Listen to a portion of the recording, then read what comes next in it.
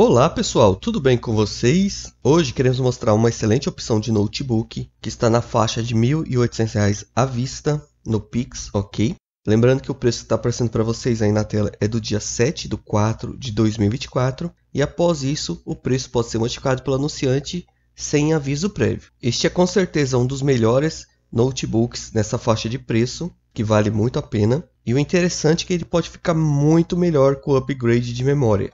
Então fique atento a isso, ok? Este é um notebook que de início vai servir para você estudar, fazer pesquisas online, trabalhar com alguns aplicativos do pacote Office, mas ele não vai conseguir lidar com muitas tarefas ao mesmo tempo, ok? Porque ele vem com apenas 4 GB de memória RAM. Mas isso pode ser modificado caso você instale novos pentes neste notebook pentes quando eu digo pentes de memória, ok? Então, pessoal, este é um Samsung Galaxy Book 2, é um notebook intermediário, leve, compacto, com boa bateria, excelente para transporte, tá? Para quem não pode abrir mão da mobilidade. Ele é um modelo que vem com processador Intel Core 3, versão 1215U, que tem frequência de clock de até 4.4 GHz, e ele também tem uma placa de vídeo integrada que é a Intel UHD Graphics, que vai conseguir trabalhar com pequenas tarefas gráficas quando você fizer upgrade de memória. E até rodar jogos, tá?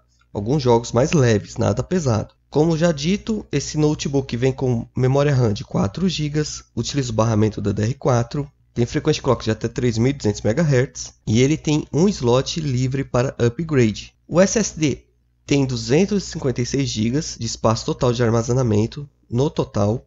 É um SSD M2 NVMe e nele está pré-instalado o sistema operacional Windows 11 Home. Caso você precise de mais espaço, você pode contar com um slot livre para adicionar um outro SSD de até 1 TB. A tela deste notebook é de 15.6 polegadas, com resolução Full HD, é uma tela com painel IPS e com tecnologia anti-reflexo. É uma tela de alta qualidade, se a gente focar em notebooks intermediários, ok?